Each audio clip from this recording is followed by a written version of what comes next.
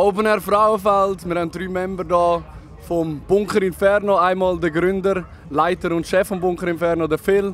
Andererseits der LC1 und der Cynic. Zwei Hauptakteure vom letzten, vierten Teil und zwei Gewinner vom äh, Bunker Inferno Pokal. Ja, ein authentisches Rapperleben ist für ihn ein grosses Anliegen. Darum gibt er sich insgeheim so Rappernamen wie MC Farbige. Und wenn er seine monatliche Rechnung bekommt, lässt er sie lang liegen und steht jeden Tag cool beim Postkasten umeinander und sagt, ich warte auf Mahnungen.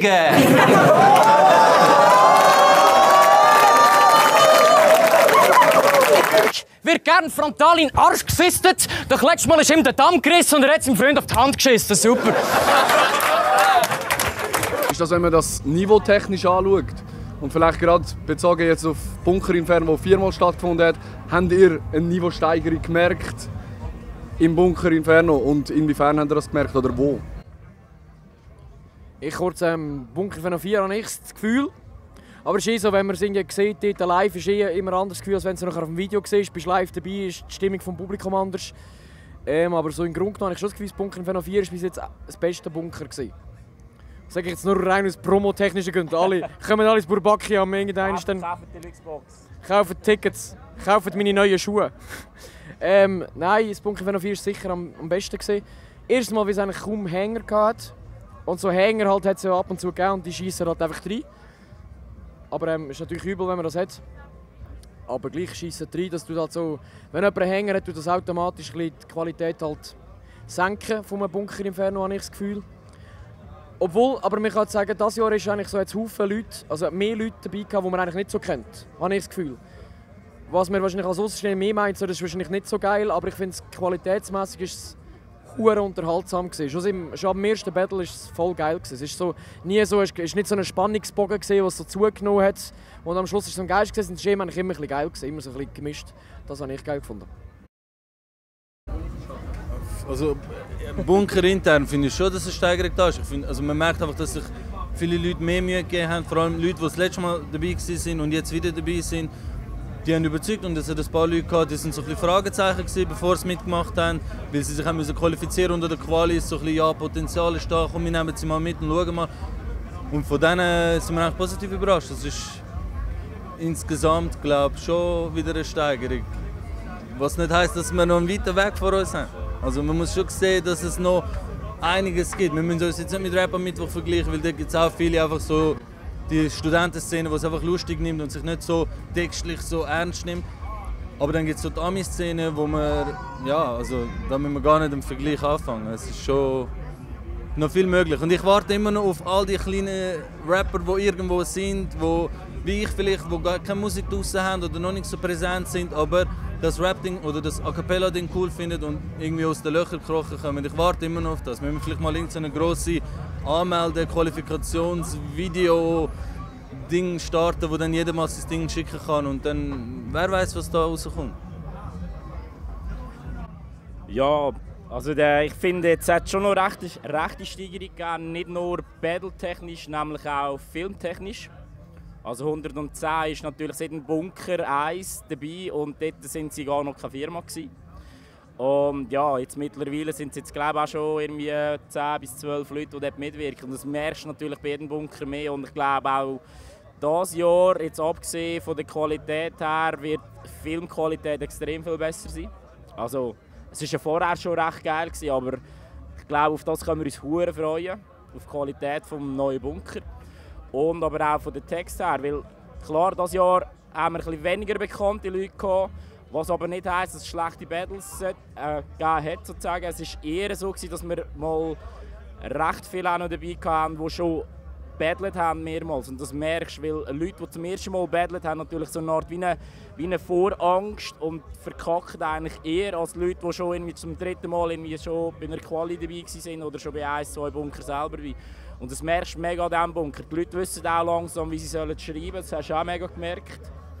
Von den, von den Pointen und so.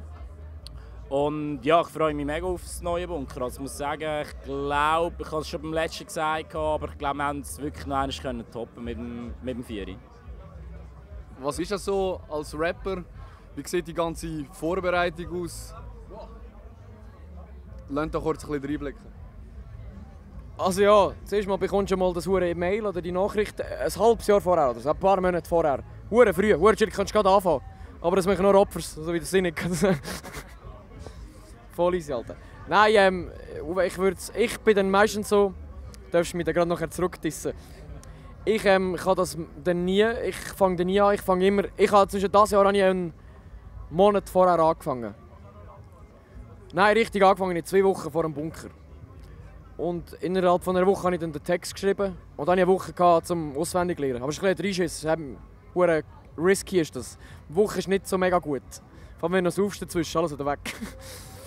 ähm, es ist einfach ein hure, ich finde Bunker ist ein geiles Format, aber es ist psychischer Stress, es ist übel. Du bist dort in diesem hure Kreis und da hat es Leute rundherum, ein paar Kelps und irgendetwas, einfach Leute von der ganzen Szene hat es dort. Und dann, wenn du weißt, wenn du dort verkackst, bist du so ein Hund. Dann bist du so ein Hurensohn. Dann bist du nichts. So scheiße. Ich, ich, so muss Gladiatorenkämpfe müssen so gesehen sein. Wirst, lieber würde ich irgendwie verschossen oder von einem Leuten zerfleischt, als dort einfach einen Hänger haben. Das ist wirklich zum Kotzen übel. Dann bist du dort und willst dir am liebsten die Hose schießen. Vor laufender Kamera. Vor laufender Kamera. Und dann bist du so voll im Flash und es geht irgendwie. Aber die Vorbereitung ist eigentlich so... Ich hätte gerne irgendwie ein halbes Jahr vorher schon angefangen, aber ähm, ich kann das irgendwie einfach nicht. Sinnig, du hast ein halbes Jahr vorher schon angefangen. Ich weiß mal nicht, wie früh haben wir erfahren, dass wir. Vier Monate. Vier Monate, also in dem Fall vier Monate vorher. Nein, bei mir ist es so, wenn ich, wenn ich weiss, wer der Gegner ist, dann, dann fängt es einfach an. Ich kann ja dann nicht, nicht dran denken. Irgendwie. Ich bin, ich bin zu. Ja, es geht eben um den Moment, wo du nachher dort stehst und nicht willst verkacken Und es geht nicht nur um den Text auswendig zu können, sondern du musst ihn so wie jeder Lebenslage auswendig spitten. Du läufst an einer Baustelle vorbei und spittest den Scheiß und versuchst es trotzdem, trotz Ablenkungen zu schaffen. Weil erst wenn du unterbewusst einfach spitten kannst, finde ich, kann man sich dann, egal was passiert, auf den Text konzentrieren und kann.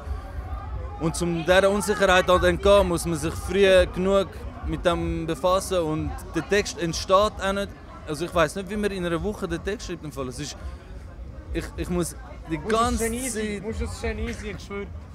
Also du musst wirklich die ganze Zeit daran denken, dass dir irgendein Scheiß einfällt und dann kommt erst mal die Idee, nachher wird es mal ein Satz und nachher wird mal das alles grimed.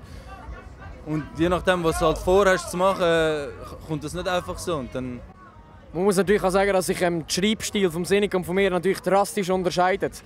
Er hat natürlich einen, einen, einen krassen, einen krassen Vortrag gehalten mit gescheiten Scheiße und so wirklich übel. Von das Jahr kann man schon sagen, das Jahr ist wieder Psycho gesehen, der Sinig. Wirklich Psycho der Beste gesehen von allen. Ähm, ich bin natürlich mehr der Peach Weber vom CA-Rap. Natürlich, ich bin einfach ein paar, ein paar lustige Sprüche am Aufschreiben. Ich kann nicht anders. Also ich wäre natürlich schon im geistigen Stand wahrscheinlich, das ist schon nicht das Problem. Aber ähm, also wir haben natürlich völlig andere Rap-Stile. Also ich glaube, er braucht sicher viel länger zum Recherchieren und krasse Plot-Twists am machen zwischendrin. Und ich bringe einfach einen Witz, den ich irgendjemand anderem machen könnte, da drin rühren. Aber ähm, ich stehe dazu. Was ist jetzt für euch drei, vor allem auch für dich, das Highlight aus diesen Staffeln, die ihr jetzt miterlebt habt? Sinnig. Sinnig war mein Highlight. Das, also einfach das Jahr sicher. Einfach generell. Alter. Gehen wir noch Gumme machen, kurz, wie ich dir da... Nein, es war wirklich Psycho. Der Sinnig hat einen trockenen Arsch reingefickt. Muss ich sagen, es war wirklich gut. Gewesen. Nein, ich finde ich find das Bunker allgemein einfach ein Highlight vom Jahr. Also ich habe das, wo das neu rausgekommen ist, die ersten zwei, habe ich einfach, ich habe gar nicht daran gedacht, selber mal mitzumachen. Und das ist für mich auch dann ein Highlight, das zu schauen und all die Rapper, die man sonst irgendwie ein bisschen kennt, zu sehen, wie sie sich machen im A Cappella Band. Und dann selber ein Teil dav- davon dürfen sie das ist, das ist, also man merkt so all diese Sachen, die zurückgesteckt werden während der Vorbereitungsphase aufs Bunker, am Tag vom Bunker.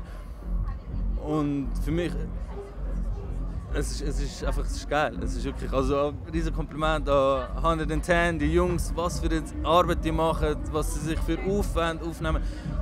Äh, Ohne Geld, weißt ohne irgendwie Geld dafür zu verlangen. Das ist, ja, und sonst gibt es halt in jedem Battle so kleine Highlights. So ein Battle als das ist mein Highlight gewesen, kann ich eigentlich nicht sagen. Aber immer, es gibt sehr viele so kleine Highlights, wo man sich darüber erfreuen kann, dass es, dass es so geile Momente halt gibt, dass wir die dürfen erleben und freut euch aufs Kino, würde ich sagen.